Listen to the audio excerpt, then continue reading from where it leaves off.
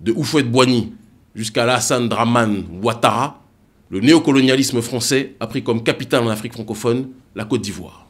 C'est dans l'optique de renverser cette tendance que le président de l'ONG Urgence panafricaniste a foulé le sol ivoirien pour une mobilisation pacifique de la jeunesse africaine contre la France-Afrique. Interpellé avec son staff le 25 mars 2019 par la police ivoirienne, Kemi Seba a été expulsé vers le Bénin par les autorités ivoiriennes.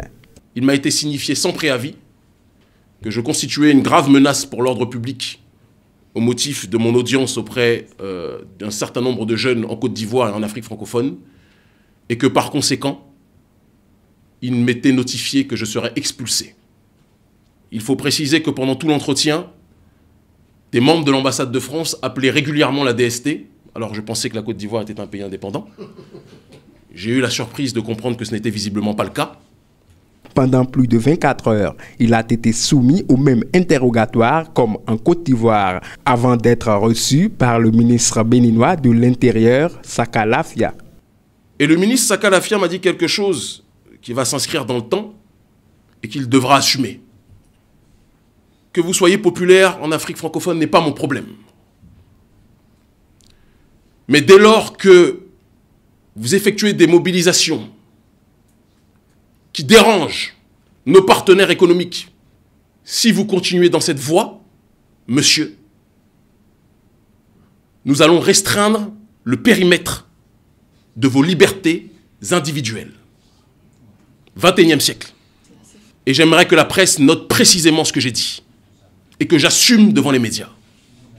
Est-ce que j'ai répondu à M. Sakalafia et que la personne qui va restreindre les libertés individuelles de Kémy Seba ou des militants de notre ONG ou de tous les militants panafricanistes qui se battent pour la souveraineté de nos pays n'est pas encore né. Faites attention aux menaces que vous lancez aux panafricanistes. La jeunesse africaine suit pas à pas chaque chose qui est faite contre nous. Chaque menace que vous faites, c'est enregistré. Chaque expulsion ou agression que vous faites, c'est enregistré. À chaque fois que vous déployez des moyens coercitifs contre nous, vous nous faites gagner. Parce que nous sommes dans un débat idéologique.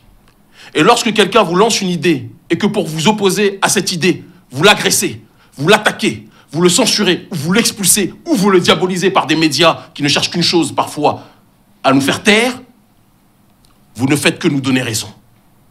Et vous ne faites que grandir notre audience auprès de la jeunesse africaine qui est pourtant déjà très grande. Monsieur Sakalafia, vous êtes le ministre de l'Intérieur pas de l'extérieur. Ceux à qui vous devez rendre des comptes, c'est aux Béninois et aux Africains de manière générale, pas à l'Occident. Après avoir loué le professionnalisme des policiers béninois, Kemi Seba se dit plus que jamais engagé dans son combat contre le néocolonialisme français en Afrique.